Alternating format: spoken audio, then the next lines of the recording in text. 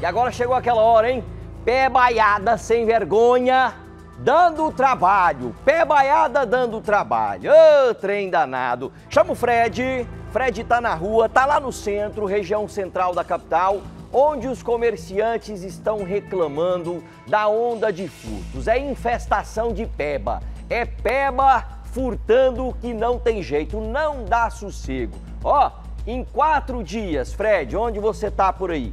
Foram quantos furtos? Só pra gente começar. Olha, Branquinho, registrado quatro, né? Mas tem muita gente aqui na região central que diz que já não está mais nem procurando a polícia.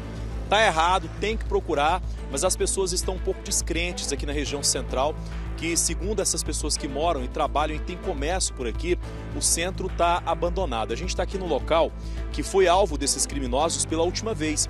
O Isaildo está mostrando aí por onde o Peba conseguiu passar. Você que está acompanhando, ele achou uma brechinha aí perto dessa cerca, acabou entrando nesse local que é um estacionamento e tem também aqui um pet shop. Só que durante a madrugada o criminoso arrombou a porta da parte dos fundos ali e aí acabou tendo acesso aqui ao pet shopping, que inclusive continua aberto. A placa aí, Zé, cuidado aí para você não cair, tem uma placa aí.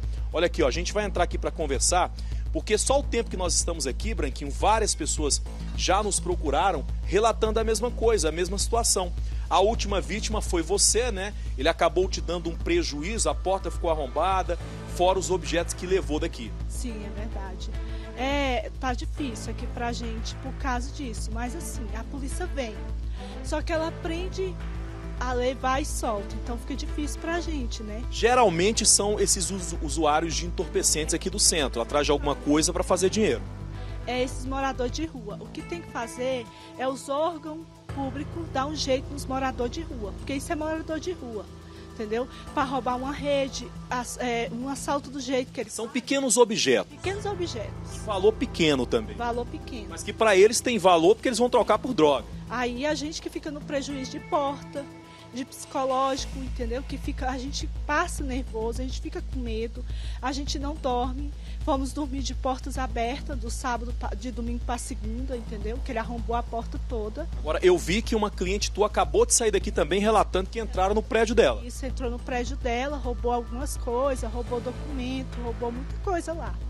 Como é que tá a situação do centro aqui para vocês? Porque, por exemplo, agora mesmo eu estava acompanhando uma moça que estava esperando o ônibus aqui. Ela disse o seguinte: Fred, não dá para ficar no, no ponto de ônibus se não tiver ninguém, porque eles têm muito medo, Branquinho. Porque agora mesmo a nossa equipe daqui, nós já vimos, presenciamos vários é, moradores de rua passando por aqui e são esses é, que acabam cometendo os crimes. É eles mesmo. É eles que roubam, é eles que agridem a gente, entendeu? Eu tenho outros boletins, um que mora, que dormia aqui no ponto de ônibus, ele quis me agredir pelo fato dele jogar coisa aqui dentro. E eu fui falar, ele foi querer me bater, eu tive que chamar a polícia. E a polícia vem? A polícia veio. Só que no outro dia eles estão na rua? No outro dia eles estão na rua. Eles vêm e falam, não é porque a gente não quer, entendeu? A gente prende. Mas a, a justiça solta, então fica difícil. Tem que a gente tem que achar um jeito pra gente, porque não tá dando. Tá difícil ter comércio aqui, né, minha irmã? Você tá pensando até fechar porque não dá. Tô pensando. Porque não é fácil. A gente fica com medo a gente fica com medo deles entrar, fazer alguma coisa com a gente, entendeu?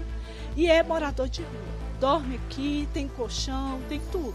Olha, vamos aqui, deixa eu, deixa eu trazer aqui para você que está em casa. Nós estamos na região central, para ser mais exato, aqui no Araguaia, na, na Araguaia. A vizinha tua também aqui foi vítima, eu estava conversando com ela, vem comigo aqui, Isaildo, porque é o seguinte, o cara entrou aqui, mostra de novo, Isaildo, ali, ó. Ó na brecha que ele entrou, foi nesse pedaço aí, é, que ele conseguiu entrar, teve acesso a parte do fundo aqui do comércio. E aí, Branquinha, ela foi chamar ali a vizinha dela, que está ali dentro, andar aqui na região central. Vem aqui, meu irmão. Andar aqui na região central é complicado e difícil, né? O Zaid vai mostrando aí, vocês vivem com medo aqui. É, aqui tá bem complicado, viu? É cheio de, de morador de rua aqui o tempo todo, para lá e para cá, para poder fazer um furto e cometendo várias atrocidades. Quem tem comércio aqui não tem paz. Tem não, cara, que é, é complicado, viu? Todo dia rouba um, um lugar diferente. Agora já passou ali das seis e pouco, ficar com o comércio aberto até uma hora dessa também é difícil. É muito perigoso, viu?